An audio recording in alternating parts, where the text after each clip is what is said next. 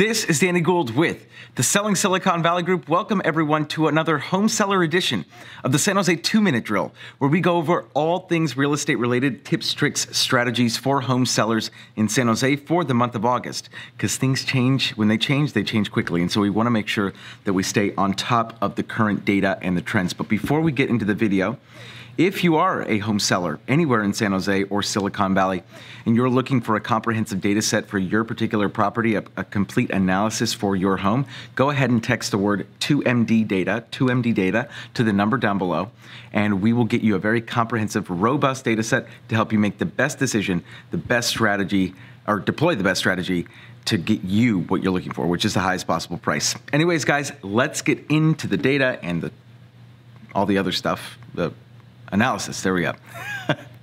I'm slow this morning. Um, okay, uh, in three, two, one, we're super high tech. Go.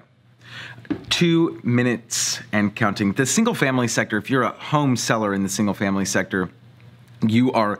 Uh, this should be music to your ears, uh, music to your ears, music to your eyes. I don't know, but 516 pending versus 389 active inventory, meaning that pendings are far outpacing uh, supply, which is amazing news. Meaning the second a single family home comes on the market, it flies off the shelf.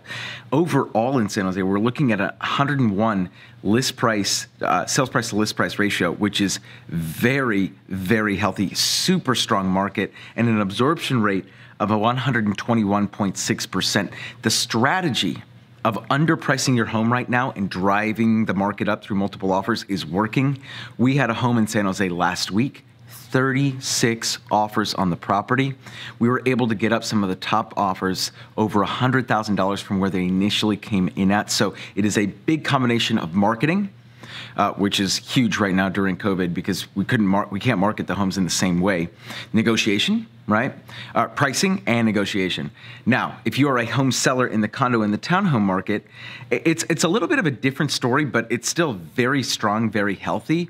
Uh, underpricing it, if you're going to underprice it, you can't just underprice it by like two, three percent. You have to underprice it by like 10 to 15% to really capture all those eyeballs and gain that momentum. Underpricing it just a little bit isn't going to work in this situation simply because there is more inventory than pendings. And so because buyers have a little bit more to choose from, uh, not than they're typically accustomed to seeing, we actually have way less to choose from than we're typically accustomed to seeing, but the environment makes it feel that uh, if, if a home is just significantly underpriced, it's not going to maybe get up to its true market value. We know that the market value and the list price are not always the same thing.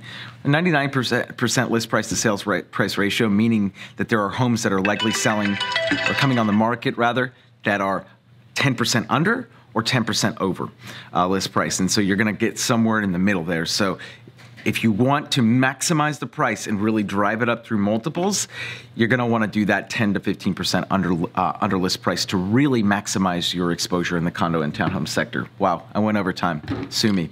This is Danny Gould, everyone, with the Selling Silicon Valley Group. Like I mentioned before, if you are a home seller in San Jose and you're looking for a comprehensive data set, the best analysis, the best strategy to get you what you're looking for, which is highest possible price, or if you just want your home to go for $250,000 over list price, like we did for the last home that we sold in San Jose, go ahead and text the word 2MD data to the number down below. We'll get you a comprehensive data set for your particular property. Catch you guys in the next two minute drill.